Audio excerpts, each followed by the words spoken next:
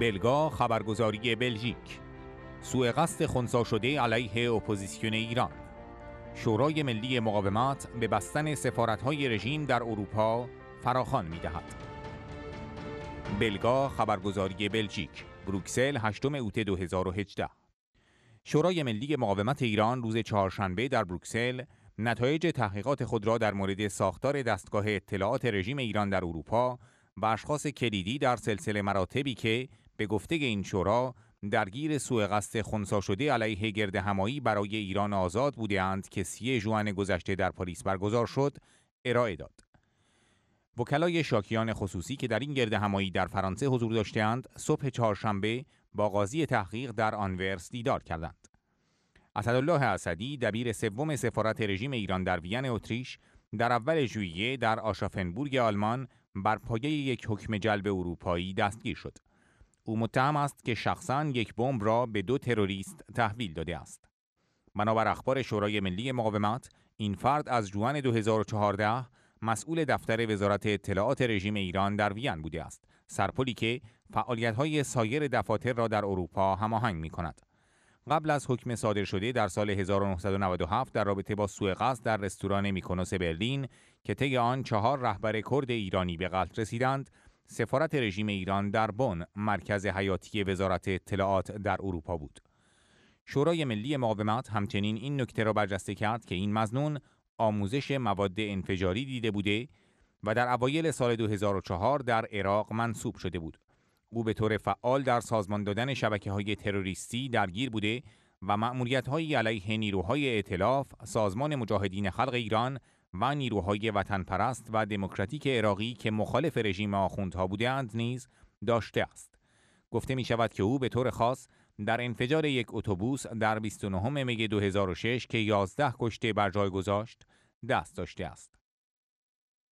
رئیس سابق ایستگاه اطلاعاتی رژیم ایران در وین مصطفی رودکی به نوبه خود در سال 2014 به ایران بازگشت و بعد از آن در سال 2017 به ایستگاه وزارت اطلاعات در آلبانی منتقل شده کشوری که در آن در مارس 2018 یک سوء قصد علیه مجاهدین خونسا شد شورای ملی مقاومت ایران تاکید می کند که ایستگاه های وزارت اطلاعات تحت فرماندهی سازمان اطلاعات و جنبش های خارجی قرار دارند که مأموریت آن جمعآوری اطلاعات و تلاش برای نفوذ در مخالفان رژیم با اهداف تروریستی است. اپوزیسیون ایران می‌گوید که می‌خواهد در مورد تسریع فعالیت هایی که از زمان ارتقاء این نهاد سابق مدیریت به یک سازمان در فوریه 2017 رخ داده است هشدار بدهد. اپوزیسیون ایران رضا امیری مقدم را به عنوان رئیس این سازمان معرفی می کند و می که اسدالله اسدی مستقیما تحت اتوریته او قرار داشته است. مقدم در مذاکرات با نیروهای آمریکایی در عراق در سال 2007 از طرف شورای عالی امنیت رژیم ایران شرکت داشته و هیئت این رژیم را طی دوره سوم مذاکرات با آمریکا از آغاز سال 2008 سرپرستی کرده است. شورای ملی مقاومت بر ضرورت اخراج عوامل وزارت اطلاعات در کشورهای اروپایی و بستن سفارتها و دفاتر نمایندگی رژیم تاکید می کند.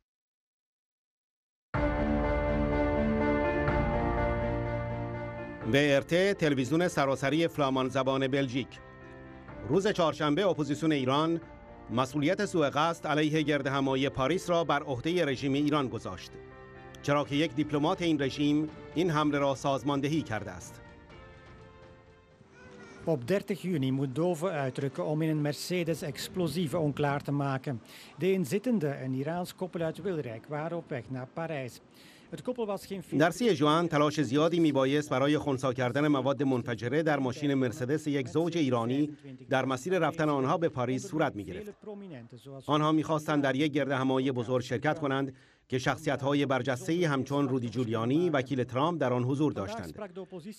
روز چهارشنبه اپوزیسیون ایران مسئولیت این سوء قصد را بر عهده رژیم ایران گذاشت چرا که یک دیپلمات رژیم ایران این حمله را سازماندهی کرده است. محمد محدثین مسئول کمیسیون خارجه شورای ملی مقاومت گفت این دیپلمات یک مقام مهم سرویس اطلاعاتی رژیم ایران است. اسدالله اسدی در آلمان دستگیر شد. وی نفر سوم سفارت رژیم ایران در وین است و از قرار معلوم در لوکزامبورگ مواد منفجره را به زوج ایرانی داده است. اپوزیسیون ایران می‌خواهد که اروپا اکنون اقداماتی را علیه رژیم ایران انجام دهد. محمد محدثین می‌گوید سفارت‌های رژیم ایران باید بسته شوند. آنچه قرار بود در پاریس اتفاق بیفتد به همان میزان کار داعش جنایتکارانه و وخیم بود تحقیقات در این پرونده در دست قاضی تحقیق آنتورپ است جنبش اپوزیسیون و چند نفر دیگر خود را به عنوان شاکی خصوصی معرفی کردند. وکیل ریک من رویسل گفت مهمترین هدف موکلان من این است که حقیقت ماجرا روشن شود و لذا آنها به طور رسمی خودشان را به عنوان شاکیان خصوصی اعلام کردند تا از حقوق مشخصی در این پرونده برخوردار باشند و بتوانند در یافتن حقیقت کمک کنند.